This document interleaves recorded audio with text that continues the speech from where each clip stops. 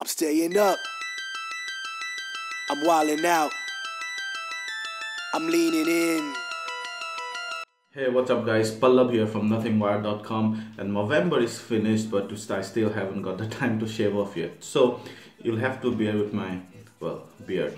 So today we're talking about the Gionee S Plus, the latest Gionee offering. This guy cost just over 17,000, the MRP at least, and it has a 5.5 inch screen, uh, HD screen. You have a 3150 mAh battery, and your um, the octa-core processors and 3 GB RAM and 16 GB internal storage and those kind of package so it's a mid-level mid-range package and we're gonna have an unboxing proper unboxing and a first look at this device so that's the huge box of Gionee S Plus. Nothing, very minimalistic box, nothing much on the sides. So all informations are generally on the back side and of course that's meant to be for Pallab Hazarika.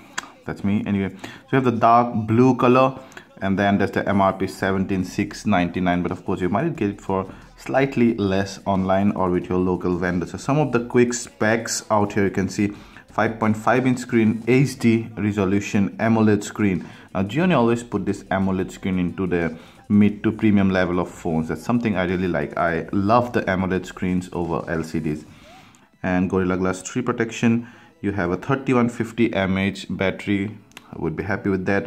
13 plus 5 MP camera that's good. 3 GB RAM 16 GB ROM and of course it does support a micro SD card. Should actually although it's not mentioned here 4G 5.1 octa-core 1.3 gig dual sims are 4G so both sims support 4G and OTG and whatnot. So let's quickly go ahead and peel off this plastic and then do an unboxing.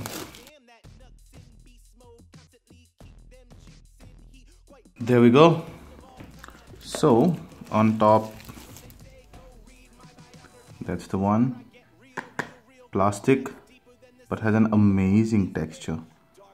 So the blue model and you know that it's blue only from some angle because it's so it's very that metallic tinge.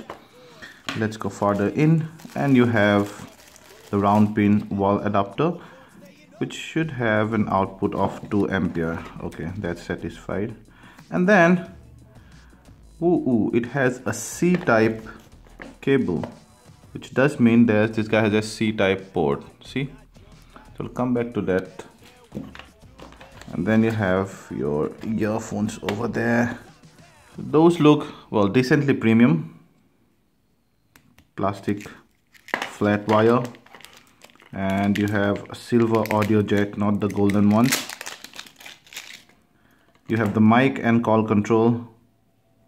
No acha you have a volume control here and then you have uh, this free back cover free screen guard and then some paperwork warranty and quick start guide and that's the huge battery. You know 3150 mAh battery. So that's the content of the box. So that's the S plus. It's very plasticky but looks brilliant and consumer friendly so let's go ahead and take this off.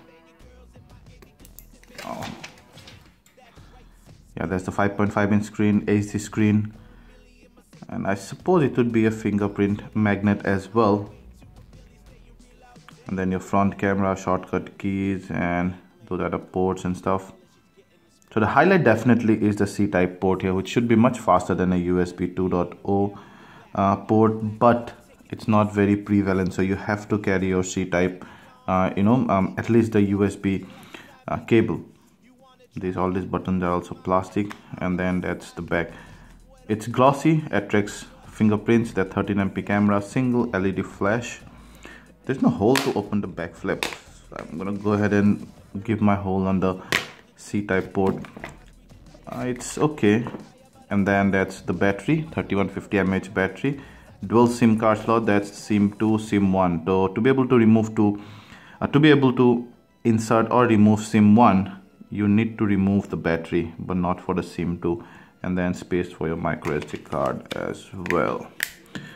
It, it's a big device and also there is something else. So that's the speaker grill and then you have see this little two bumps so that it does not prevent the sound from coming out whenever you place this device on a flat surface. So we have to test that during our full review.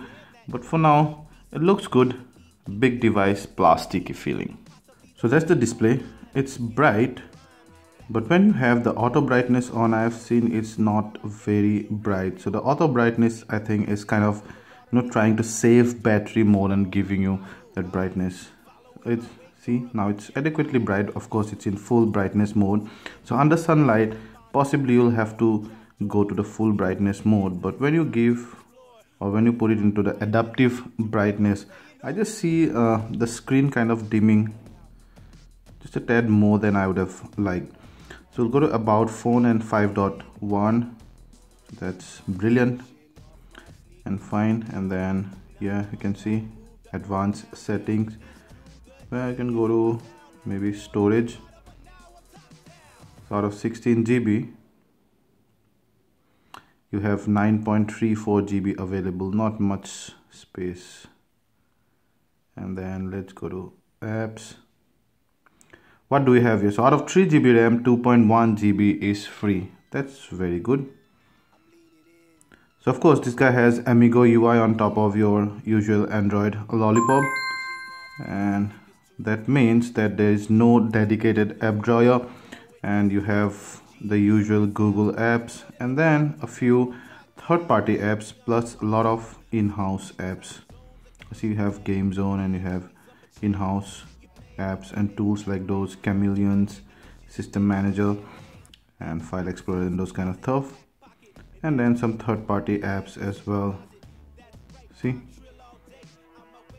Let's go to the camera.